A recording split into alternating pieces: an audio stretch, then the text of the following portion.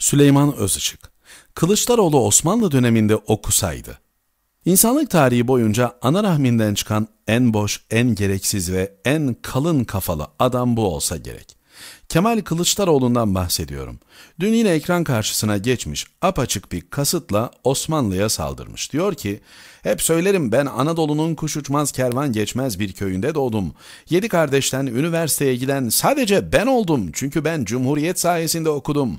Osmanlı'nın varlığı devam etseydi ben okuyamayacaktım.'' En azından kendinden örnek vermeseydi iyiydi. Aslına bakarsanız niye böyle düşündüğünü, neden böyle konuştuğunu da pek anlamadım.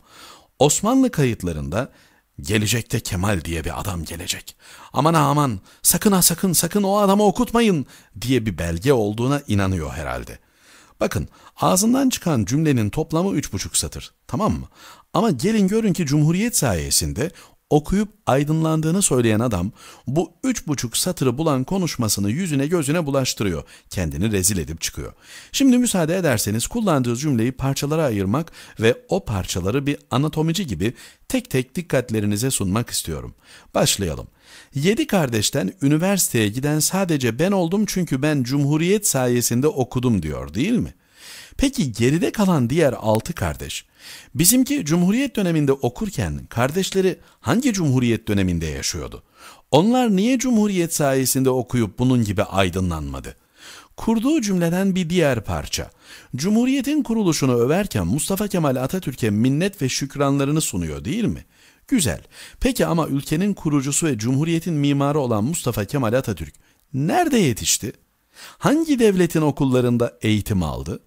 Madem bu kıyaslamayı yapıyoruz, o zaman iki döneme ait iki örnek verelim. Osmanlı'nın yetiştirdiği devlet adamına örnek Mustafa Kemal Atatürk, Cumhuriyet'in yetiştirdiği devlet adamına örnek Kemal Kılıçdaroğlu. Elinizi vicdanınıza koyup söyleyin canlarım.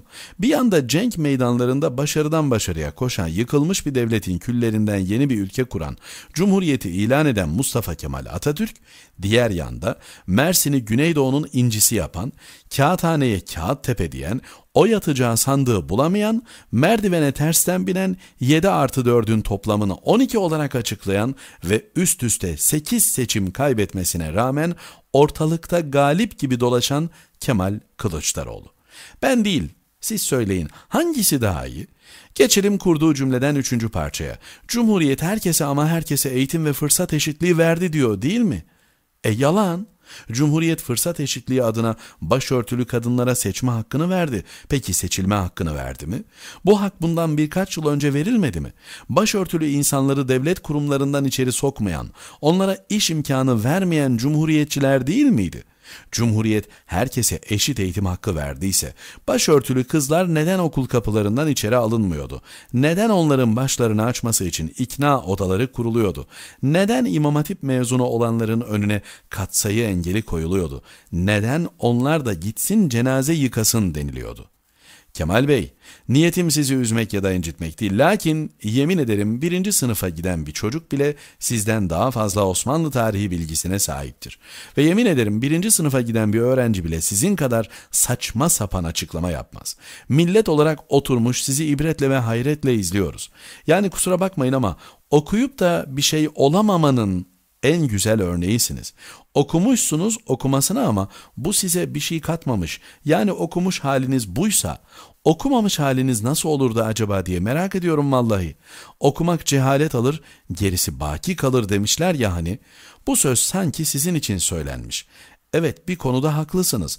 Osmanlı döneminde olsanız büyük ihtimalle okuyamayacaktınız. Ya da başka bir deyişle tıpkı bugün siyasette çaktığınız gibi okulda da çakacaktınız. Çünkü Osmanlı IQ numarası ayakkabı numarasından küçük olanlarla vatana millete faydası dokunmayacak olanları okutmuyordu.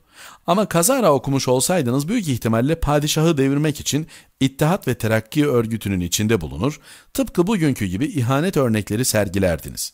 Yani anlayabileceğinizi pek sanmıyorum ama yine de şansımı denemek adına sizi uyarıyorum. Atatürk Türkiye'yi kurduktan ve Cumhuriyeti ilan ettikten sonra bizi marul gibi ekip yetiştirmedi tamam mı? Atatürk'ten önce yaşamış bir ecdadımız vardı. Şayet iktidar olma hayalinizi gerçekleştirmek istiyorsanız o ecdadı kötülemeyi bırakmalısınız. Zaten Atatürk bu halinizi görmüş olsa yarından tezi yok, Osmanlı sistemine geri dönüyoruz, zararın neresinden dönersek kardır derdi. Ve sanırım sizi CHP'nin başında gördüğü an eğitimde fırsat eşitliği getirdiği güne lanet ederdi. Bilmem sizi aydınlatabildim mi? Süleyman Özışık, Türkiye